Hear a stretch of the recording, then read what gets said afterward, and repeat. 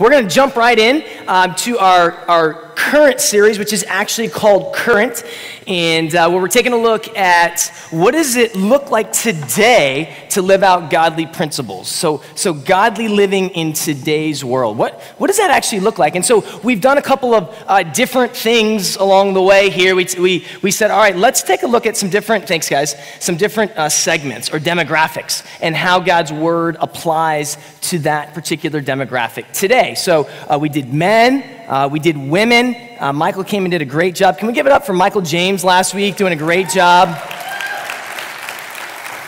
Absolutely. Excited about Core Church and all that's going on there. If you want any information, I know he's got a table out front. You should definitely hop into that. Um, uh, exciting times, uh, him, him moving into Lake Worth and getting a team gathered together. So it's going to be awesome. Today we're going to be talking about marriage, and I have to tell you that I have the secret.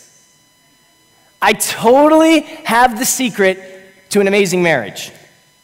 I'm not going to tell you yet. I don't want you to leave. Okay, you guys got to hang out, I got to work for it a little bit. But I have the secret. I'm super excited that God gave me the secret. I don't think I'm going to write a book or go on tour or anything. I think I'm just going to preach it like I believe it today, and we'll just see what God does with that, okay? Cool. Mitch told me, he texted me this morning that he believes something monumental is going to happen today. So I, I don't know what that means. I just know that I trust Mitch. So we're expecting God to do something really cool in our midst today, and I'm excited about that. As we said before, today's our eight year anniversary, and so we're really excited about that. And uh, all, yeah, absolutely, we can thank the Lord. Thank the Lord for that. And uh, so, yeah, so I've got a little bit uh, more, of, more of a limited time today because we want to save some time for, for Connect Day. So I'm just going to hop right in after I ask the Spirit to come in and be present, which we know He already is. So, Father, we ask that you would send your Holy Spirit, and we, we wait upon you now in this moment. We ask that you would fill us, Holy Spirit, and that you would teach us, and that you would bring life, blow among us like you have throughout all the scripture. And would you bring new things to life in Christ's name? Amen. Hey, so, so marriage, marriage. So most of these other topics we've begun with the struggle is real. You guys remember that? Struggle is the real for, for women, the struggle is real for men. So today, uh, you know, just keeping in line with that, we want to do the struggle is real. But rather than just kind of talk generally, I wanted to talk about our struggle is real. So I'm going to invite you guys into our living room, okay? The Cleveland's living room. That is the, the younger version, the Catherine and, and Casey, not Don and Becky. They can talk about their own struggles if they want to. That's my parents. They're, they're here as well. But I'm going to talk to you guys not just about a general struggle, but our marriage and how we struggle. Because as much as you hear me talk about my wife and how much I love her and adore her and all those sort of things, I don't want you to get the wrong impression like it's a, it's a uh, picture perfect marriage. I wouldn't want you to put us in a place where it's like, well, that's, that's never going to be my experience, so I'll just keep grinding away in my reality. That, that wouldn't be gospel truth because our struggle is real. And I was thinking about this. We've kind of gone through chapters of our marriage, right? Like, so when we were um, early married, we were dinks. I don't know if you know what a dink is double income, no kids. So we just like did whatever we wanted, man. We traveled around, we just spent money, and we looked at each other like, what are we doing this weekend? Oh, I don't know. Maybe we'll sleep in, get some breakfast, and drive down to the Keys. You know, like that was kind of like our, our first five years of existence. And we did that, and it was awesome, man. We built this home. I remember my dad said, but before you bring children in, like do your work on building a home together. And so like I was like, all right, let's just do that. I think that means we should have a really good time all the time. So we did it. And um, anyways, it was really cool. We had awesome just time of, of growing and, and, and sort of growing up together. Because I never really had a time where I didn't have a roommate. I just switched my college roommates for someone who was way prettier and more fun.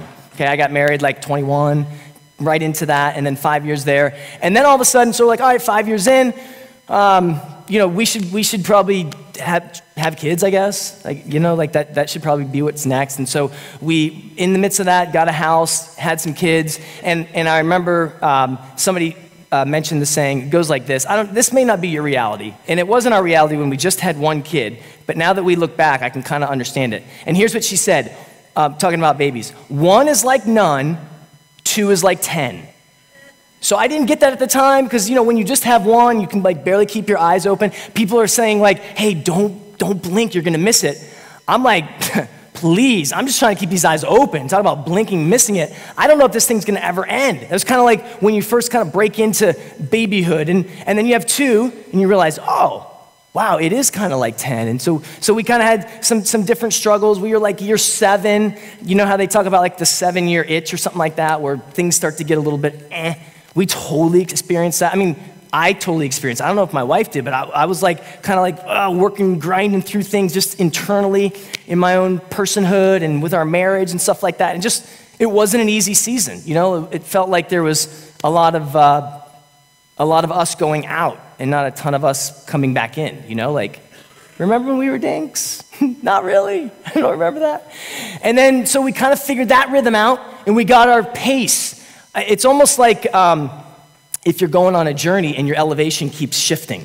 Your body needs time to adjust to the new elevation. So once we adjusted to that, we figured we'd ruin it and bring on two, two more kids, okay? And so um, what happened was we, we felt the Lord calling us when our kids were about, uh, I guess they were I don't know, three years ago. So they're 16 and 13 now. So when they were three years younger, we felt like the Lord was saying, Hey, um, I want you to foster, to adopt. And I say that sarcastically, ruining it because I think we're winning in, in so many ways. The fact that our family has grown by two, and, and, um, but the struggle's real now, four. I don't know what the saying, what happens with the saying. If one is like none and two is like 10, I don't know what to say about four. I'm still, we're still like in that elevation change where we're looking for oxygen. Like, hey, oh, I know, I remember. This is what I thought of this morning. Here, here's the saying when, when we have just, I know we're not the first family to have four. I get that. Like, but, but it's the first time in our little family journey that we've ever had four. And so here's the saying help. help. You know, you go from like when anyone can watch your kid to like you need Navy SEALs qualified people to try to watch all four and, and keep them together. And man, so our struggle, a couple of things that are, that are coming out just in this season to bring you current. Um, we, we have a, a, struggle with intimacy. And, and, I don't mean that, that sexually. I, I feel like we have a, a, wonderful sexual relationship, but I mean like, um, like there's, there's intimacy and sex are, are oftentimes two different things, you know what I mean? Like you can actually be enjoying sex without intimacy and, and, and vice versa, enjoying intimacy without sex. And it's beautiful when they go together. And, but for us, like I just miss my wife. And it's not because we're in any kind of like sin or we're doing things wrong. It's just because it feels like we're we don't have a ton of margin and I, and I like miss doing things with her i miss her like being with me in a lot of these different things and so and i know that she does me as well she we talked she said that yesterday and so we just, we're working for that. We're, we're trying to find moments where we can be intentional and, and, and work toward intimacy. But it's a, that's a struggle for us, you know, like we're not in the same space that we used to be in uh, anymore. I think we have a struggle in resources. So, you know, um, resources are time, talent, and treasure. I don't know, so if we were to do time, it's like, man, time just flies, and it doesn't seem like we have time like we used to. You know, you finish the day and you worked really hard, and the house still looks wrecked. It's like what time went by and I don't know where it went. And uh, so times one, uh, talent. I'm not sure we're up for this task sometimes of like church and family and this and that and this and she's got this. I'm just not sure we're up for it. So, so that's kind of a struggle. You know, like I know what God says about it, that He's given us everything we would need. It's just hard to believe that sometimes. So, um, and then resources. You know, like we're, you know, we just don't have gobs of cash falling out of our pocket, you know? So it's like sometimes you wonder, hey, is this going to work? Is this going to work? And so those are some, when I, when I think of, I wrote a few more down, children.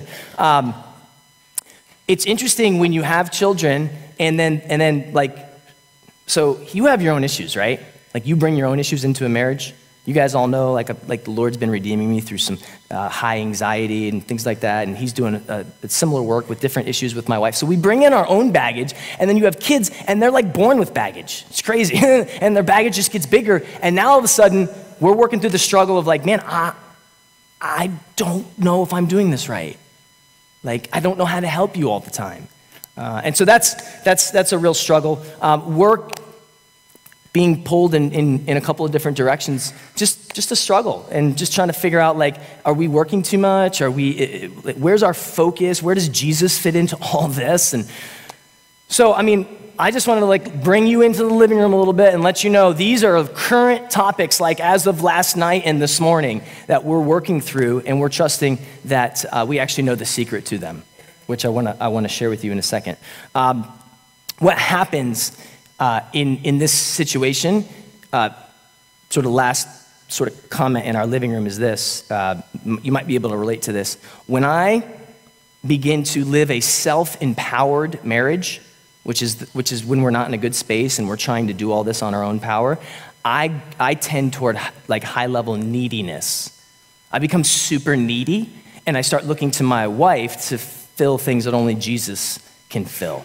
My wife tends towards negativity and, and negativity starts to, to get around us and, and, and she becomes negative because she's not seeing jesus uh, fulfill those things that only he can fulfill. So those are those are some of the two outworkings in our home that are like cur- god's currently redeeming but there are that's like super real for us. And if any of that stuff connects with you man i hope i hope it does in some way to let you know like the secret still applies no matter what your um, situation might be. Our current culture would tell you just keep getting better, self improvement, this, that, you can do it. Uh, but the gospel would have a different message. And so we're going to be in Ephesians 5, uh, 1 and 2, and then camping out on 18. So we want to be consistent with what the scripture says.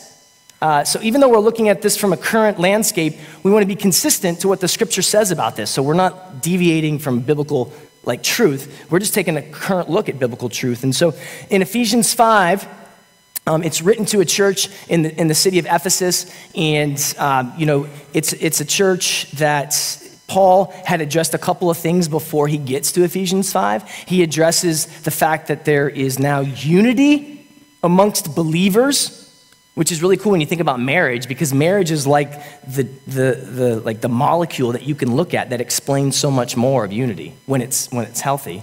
Uh, and then he says, you, You've been made new. So the end of chapter four is like Paul saying, Hey, you guys, you've been made new, so walk in this newness. So because of all that, we come to uh, Ephesians 5 1. It'll be on the screen here. And if you have your Bibles, that's where we'll be.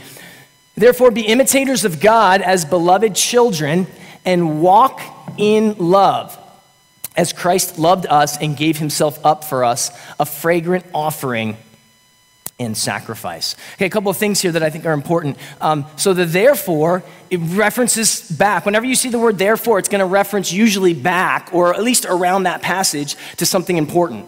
And so there, because you've been made new, okay, he's saying because you, um, let, me, let me just stop and tell you, uh, um, all of us are in this spiritual predicament when we're born, where, where we're born apart from knowing God the way He intended. It's called sin. You might call it broken. You, you might think of it in a different way, but um, basically, we don't relate to God the way we were intended to relate to God.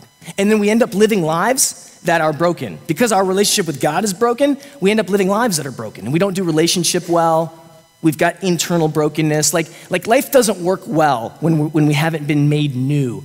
Uh, but God says, even though like the, the, it's clear because I'm, of my character that you've sinned against me and I should bring my wrath, my, I, I should bring a penalty against you, which is like punishment and separation eternally.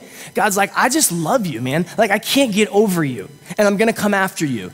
And He sent Jesus, and that's what Jesus is all about. So, Jesus stood in our place on the cross and he took all of our brokenness and he was punished and penalized in our place, specifically for you and me, not generally, like specifically for all of the brokenness I bring into my marriage, my thought life, my words. Jesus took it as though it was his own and was crushed from the Father, like I should have been. And on the third day, he died, but then on the third day, he, he came back from the dead.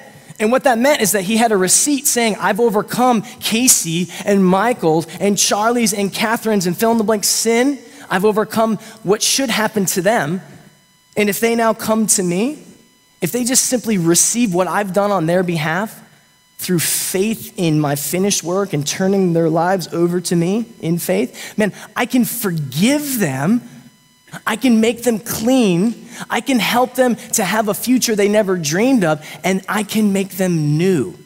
And it's really important that you understand as Christians, we're not just forgiven, but we're new. Some of us like to camp out in the forgiveness aspect, but we forget we've been made new. It's awesome that you've been forgiven, but there's more to the gospel than just your forgiveness. Your forgiveness actually leads to your newness. And here's what's really cool about your newness you now have new abilities. Watch this. So therefore, be imitators of God as what? As beloved children. So here's the deal because Jesus forgave you and made you new, he's adopted you into God's family through faith and repentance, through what he's done and receiving that. You've become a child of God. When you become a child of God, when you become new, God gives you new potential, He gives you new identity. So here's how it works there are certain things that my kids get to do because they're my kids that your kids will never get to do. Um, so let's see we like to go to uh, this barbecue place in Deerfield that's like a little bit sketchy, but it's really good barbecue. And, and so I'm, uh, the 99% of your children are not going to get to go there because they're not my children. But like my daughter and I, we love to hang out there just simply because she's my daughter. That doesn't make her better. It just means that she has certain rights and privileges as my daughter, that she can do things and she has access to things that your kids don't. It's, it's the same is true of God. If you're a child of God, that means that you can actually do things that other people can't. You need to let that sit in for a second because I'm starting to hint at the secret. You, as a child of God, because you've been made new, you can do things that other people can't. It doesn't make you better than them. It just means that because you belong to the Father through Jesus, you now have this power that lives within you that allows you to do and be things that you could never do and be without it. One of them is you can imitate God now. You can copycat God. You can, it doesn't mean you can be God, but you can live and love like God. And so, because you're beloved children, this is, this is what you can do and what you should do. Um, walk in love. How? As Christ loved us and gave himself up for us, a fragrant offering. So, as we think about marriages, you can actually have a marriage or any relationship, but as we talk about marriages specifically today, you can actually have a marriage that gives off a fragrance that reminds people that there's something greater than what they can simply see. Like it's a transcendent message. You have the ability in your relationships, in your home, in the midst of your brokenness and baggage, to live this kind of sacrificial love toward one another day after day after day after day, so that others around you begin to sense that there is something radically special about that marriage, even if they don't know how to say Jesus. You can do that. You, as a child of God, empowered by the Spirit of God, can do that. Not in your own strength, but in the strength of who God has given you, or else He wouldn't have called us to it. So let's hop down to the next verse. Um, if, if you're reading your scriptures at home, which, man, I really hope you are because this is huge. If you want to grow up in Jesus, you, you can't just grow up in here. You've got to grow up, learn how to like become self-feeding and read these scriptures on your own and ask God to help teach you and get around people who can help teach you in groups and women's gatherings and men's gatherings, things like that. But, but so Ephesians 5 continues and it drops down to verse 18, and this is where we'll, we'll camp out a little bit today. And so he, he start, he's talking about like different, different areas and different aspects of, of, of this particular call of being imitators of God. And then he gets down to the secret. Okay, so here's the secret. Here's a secret to successful, awesome, like life giving marriages. And do not get drunk with wine, for that is debauchery but be filled with the Spirit. That's the secret. Being filled with God's Holy Spirit is the absolute essence and secret to your marriage. Man, I could give you like six principles to a better marriage. I totally could. Actually, if you read the rest of this chapter, it talks about what it looks like. It talks about the principles of that. And you could go to a workshop and say, hey, this is what I need to do better, and this is what I need to do better. Listen, here's what the Lord wants me to tell you. Really simple. And like, and I think it's on a connect day where I have less time so that I'm, I, you know how I can get a little convoluted. I'm just gonna be super simple. Be filled with the Holy Spirit if you want your marriage to flourish. Like, that's the secret. That is the message. Everything else is the picture of what happens when that happens. So, so let's, let's take a look at that. Could you go back to that verse real quick, please? Thanks, Rich. So I put it here in red, so in the scripture it all looks the same. Let's just break this down here for a second. And do not get drunk with wine. Okay, so for that's debauchery. Debauchery is like uh, an overindulgence and a pleasure, but rather be filled with the Spirit. So, a couple of things here um, that I think are worthy of, of us taking notice. The first one is getting drunk. Now, um, you know, that that might have been part of a former life for you. But what's cool about Jesus and you being made new is now God can redeem things that used to break you. So, so the, the passage actually takes you back maybe to a place that wasn't good for you. And, it, and it's like, hey, let me use this imagery to show you what new life looks like. So, as you know about getting drunk with wine, usually, not always, keep this in mind, usually, not always, um, that would be something that would happen over a period of time, often in the company of others. Now, I understand, like, people might get a wine bottle, go in a corner, and just chug it to get that, that type of uh, intoxication. But in this culture, and even in our culture, mostly wine is a communal drink that is sipped, sipped, sipped, sipped. And then, and then it becomes a problem when it's sip, sip, sip, sip. sip. It's like the constant sipping of a mind altering substance is what Paul is saying, like, hey, don't do that. But he uses the picture to show us that in order to be filled with the Spirit, now let's flip it on its head. There would probably need to be a constant sipping of another mind altering, heart altering substance or person named the Holy Spirit. Are you with me? So, as somebody might get drunk with wine, we're going to use that picture and we're going to redeem it. This is, is, is what it might look like for us to be filled with God's Holy Spirit, a constant sipping, oftentimes in community. Um, so Wayne Grudem defines what it means. He's a, an awesome author and, and, theologian. He defines what it means to be filled um, with the Spirit. And this is what he says uh, Be filled with the Spirit means to be filled with the immediate presence of God to the extent that you are feeling what God Himself feels desiring what God desires, doing what God wants, speaking by God's power, praying and ministering in God's strength, and knowing with the knowledge that God Himself gives. That's, that's kind of like the definition of be filled with the Spirit. Now, the tense of this wording is actually, I believe it's called a present imperative, which means that it is supposed to keep happening. So if we were to reread it, it means that you should be continually being filled with the Spirit. It's not like a one time event. Now, let me do a little theology here for you. Once you come to that place of trusting Jesus to make you new, like I just described, you get the Holy Spirit. Every believer has the Holy Spirit living within them. That is, that is a fact, biblically speaking.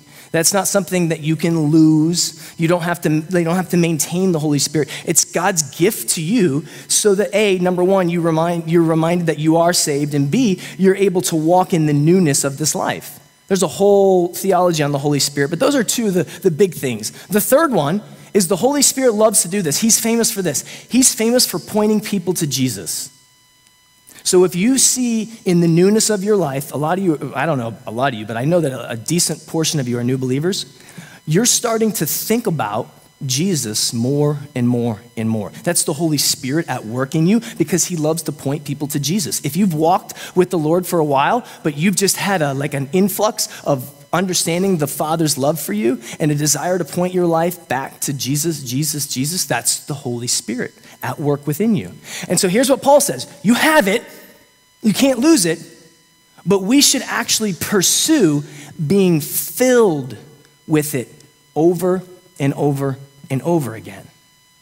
It's as if there are times in our life when we can be uh, present with the Holy Spirit but he is, we're not experiencing the fullness of the Holy Spirit as God wants.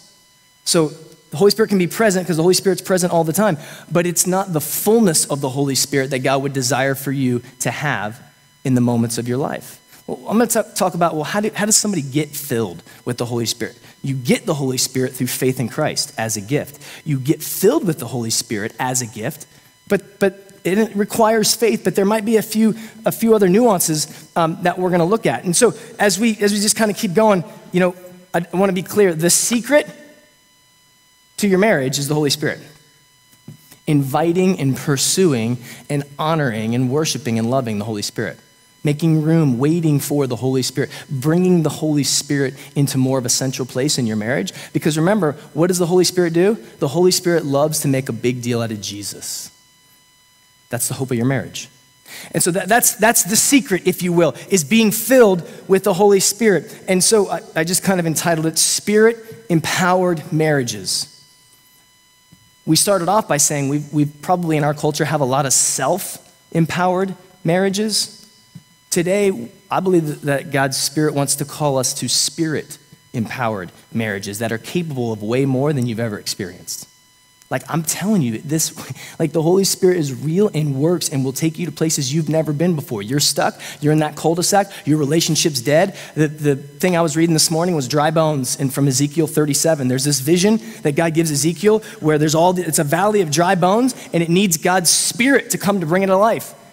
I think that might be your marriage today. I'll just leave that.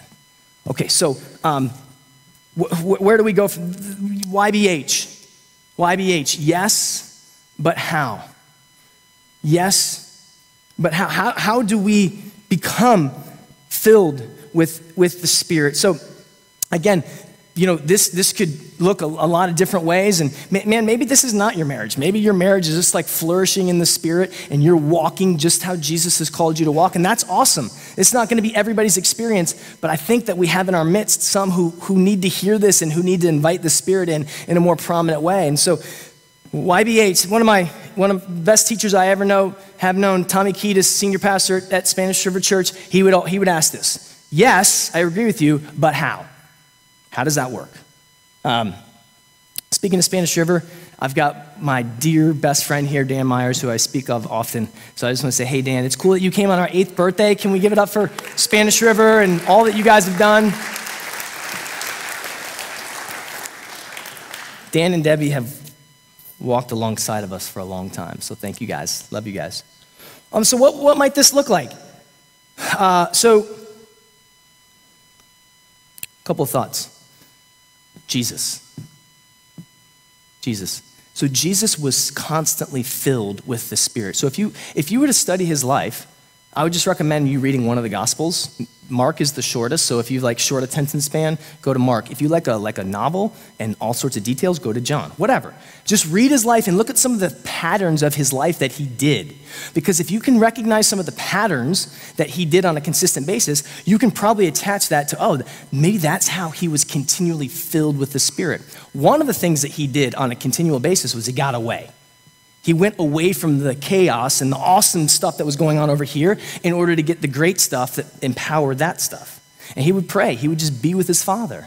He would, he would spend time with his father. And so, prayer, um, as, as many theologians would say, is a non negotiable uh, here in this, in this particular uh, context. Um, and it's, it's like this continual sipping. So it's not just a big prayer in the morning, although it's great to start your morning in prayer um, w- with the Father. It's a continual praying and, and asking and inviting God to send His Holy Spirit um, into, into different moments. I, I, wrote a few things down that, that I see here in the New Testament where they seem to kind of um, reflect what it might be, practically speaking, to be in a context where people are, are continually sipping of the Spirit. Uh, so in the New Testament, you see communal gatherings. You see people gathering for prayer, like prayer meetings. They would be praying. Like, remember, Peter was in jail, and you know, maybe you don't know, he was in jail. They gathered together to pray. Um, there would be continual gatherings like this, where there was worship and there was um, the word, and, and, the word is huge as far as like being filled with the Spirit. There seems to be um, this, this pattern of laying on of hands, where oftentimes in the New Testament, you see that people are like, um, hands were laid on them, and either they received the Holy Spirit or they were commissioned to a particular event. In order, they were like empowered to go to an event. And it's symbolic. Laying on of hands is super symbolic. If you look at how many people Jesus healed, there were a few he healed without touching, but he was a big toucher. He was a big huggy feely, like, let me get in there. I know you think you're shameful and dirty, but not to me. Come close. When I heal you, I want to touch you. And so there's something about the way that God communicates and works as it pertains to the things of the Spirit that oftentimes a touch goes a long way with that. Sometimes I just need to be hugged. And that communicates and it reminds me of, of the Father's affection for me. And so when we're talking about being filled with the Spirit, you see in the New Testament, there were, it seems like there was a pattern where people would lay hands on other people and they would ask God to fill them with, with his Holy Spirit, as though God was touching them, you know, through that particular person praying. So as I was thinking about like what if, I love the question of what if. My question today would be like, well, how does this come to play in our marriages? And again, you know, we're just trying to keep it simple here, but but what if this? You know, the, the church has this ancient prayer of come, Holy Spirit, come. So I was in London last week and I was just kind of studying uh, a, a, church that has really, uh, I think, it's, it's called Holy Trinity Brompton. And it's a church that just really has a great culture of prayer, listening, and the Holy Spirit. And um, they were talking about how the, how the church historically has this prayer. It's a simple prayer Come, Holy Spirit, come. And then, and then they would begin either praying or they begin preaching or they begin their day. So as we think about marriages, because, hey, can you guys just imagine for a second what it would be like to see uh, a ton of marriages that are spirit empowered?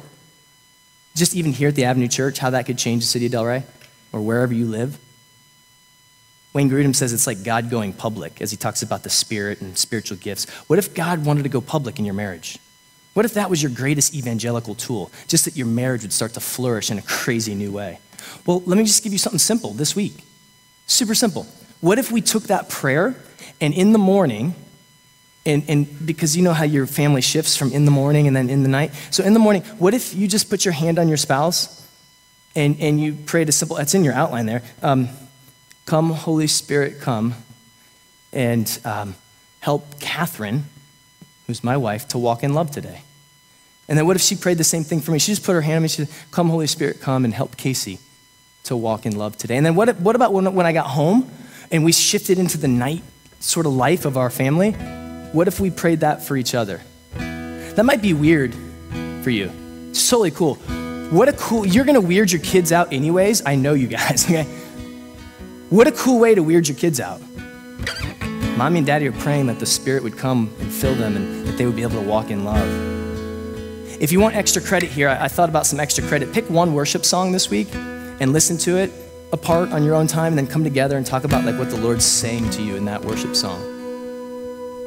I am believing that in just one week, you will start to see like some crazy, awesome manifestations of God's greatness and His love and His deep desire to make Jesus famous through your marriage, if we just begin to be more intentional about inviting the Spirit to come in and give us our love and our joy and our peace and our patience and our happiness and our goodness and our self control. Man, rather than trying to work for that, because that's just super exhausting and I'm so bad at that.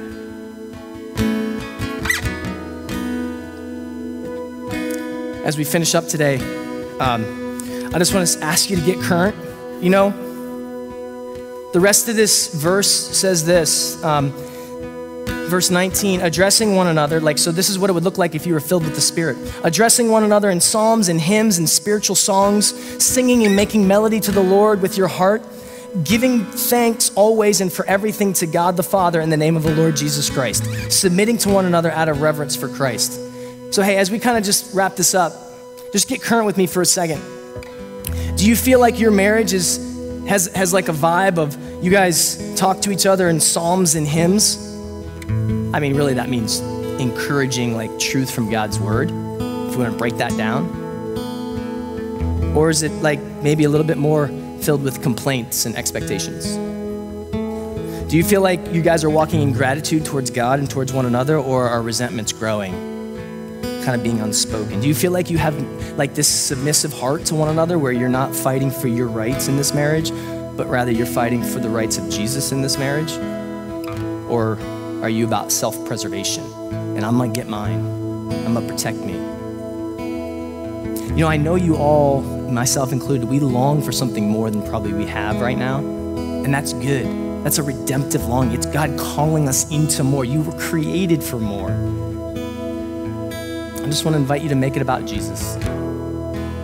Just, just make it about Jesus. And the only way you can make it about Jesus, the only way He can be the king of your marriage and you can experience the power of His resurrection is if His Holy Spirit, whom He has left, gets a prominent place in your marriage.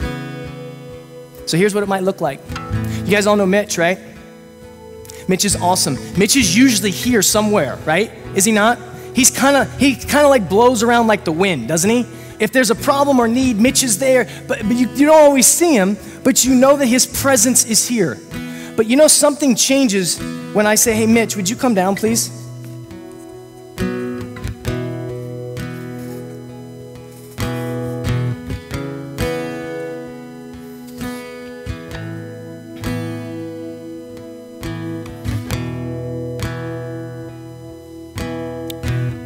Up? Love you, dude. Thanks for praying for me with that big bear hug back there. Something dramatically has changed in the room now that Mitch has been brought to the center. I can do things. I, can experience things. We can go places that I probably couldn't have gone or done with Mitch just kind of roaming. With Mitch just kind of being present, that's okay. But when I call Mitch forward, it brings his presence to life in, a, in an amazing and tangible way, not only for me, but for you. That's what it's like to call the Holy Spirit forward. That's what it's like to be filled with the Holy Spirit and to just simply ask, Come, Holy Spirit, come. So here's how we're going to end. I have no idea how this is going to go, but I wanted to leave a little space for it.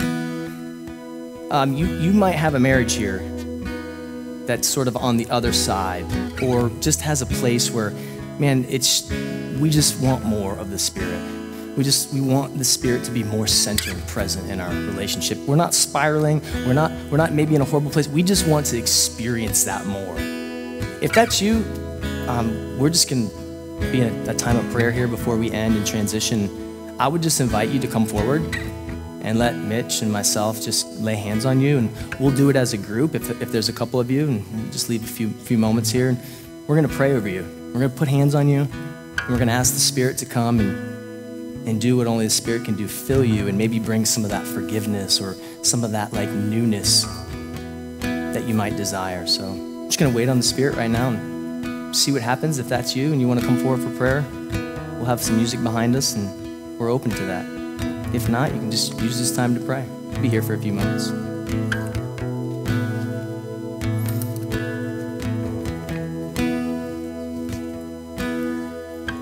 We're going to wait till everyone gathers, so come on up if you want to be prayed over.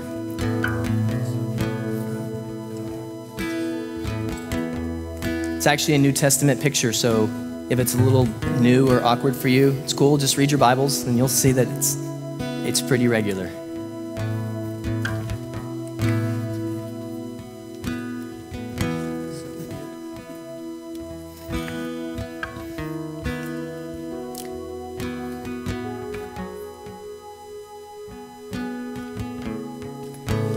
So I see my baby coming. Would you, would you come here? Because we need this. So if you just put a hand on somebody who's maybe next to you or close to you, we're going to put hands on one another and we'll, we'll just symbolically be laying on hands now. And, and I'm going to enter into just a simple prayer. Come, Holy Spirit, come. Would you fill us? And would you refresh us? And would you empower us to walk in the ways of Christ, sacrificially and beautifully, in all of our marriages and relationships, so that we might experience you, Jesus, and the world around us. We trust today that through this specific asking, there would be a newness that we experience and can thank you for. Father, send your Holy Spirit. You love to do that. Christ, in your name we pray. Amen. Love you guys. Thanks for coming forward.